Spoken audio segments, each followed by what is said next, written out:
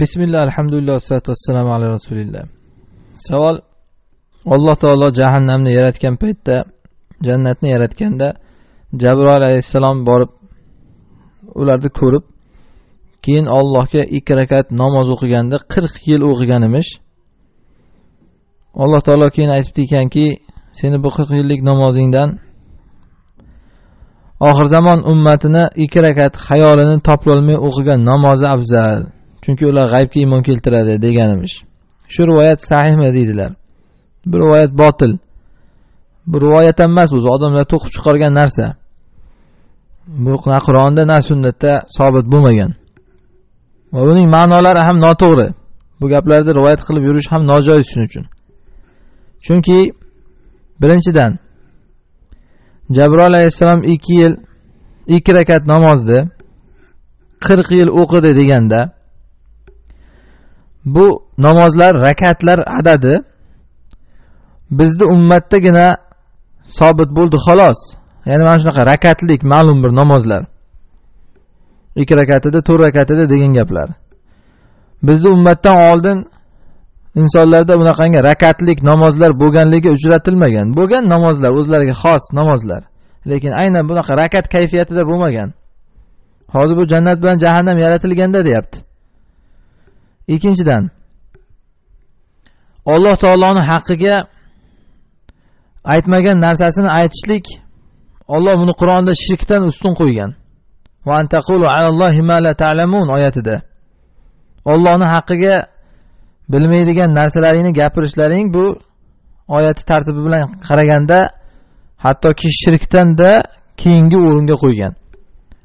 Mana bu ollohni aytgan aytmaganligini bilmasdan turib nosahih bo'lgan rivoyatda shuning uchun ham olloh aytgan ekanki jabroilga olloh aytgan ekanki muhammad alayhissalomga degan gaplarni rivoyat qilib yurish nihoyatda qattiq gunoh bu. Chunki olloh nomidan gapirish bu.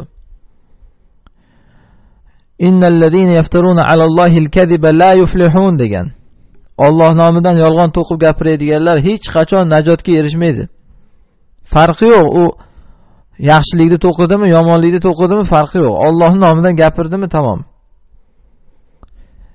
Uchinchidan namozda hayollari to'plolmay o'qigan namozi ham yaxshi degani mana bu gap ham mutlaqo shariatga teskari.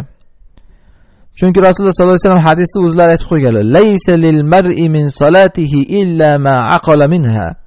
Kishiga o'qigan namozidan aql hushini joyida qilib o'qigan namozdan boshqasi namoz emas deganlar. Endi qanday qilib uni jabroilni namozidan afzal deb o'tiradi? Mana hadisda aytyaptilar sahih hadisda. Namoz emas deyapti. Hayol joyida bo'lmasdan o'qigan namoz hushusiz aql hushusi joyida bo'lmasdan o'qigan namoz namoz emas deyapti. Bu namoz emas deb turganda endi uni jibriylikidan afzal deyishligi mutlaqo to'g'ri kelmaydi. To'rtinchidan jabroil alayhissalomni bunaqa qilib yerga urilmaydi. Ya'ni bu haqorat u kishini sha'niga. Ikki yil namoz ikki rakat qirq yil namoz o'qisa endi bu hayol joyida o'qigan bir oddiy namoz odam namozdan afzal bo'lib qolsa. Alloh taolo jabroil alayhissalom haqida nima degan?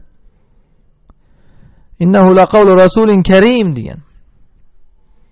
Bu karamlik bir elchi. Muto farishtalar tomonidan itoat qilinadigan elchi. Amin ishonchli elchi degan.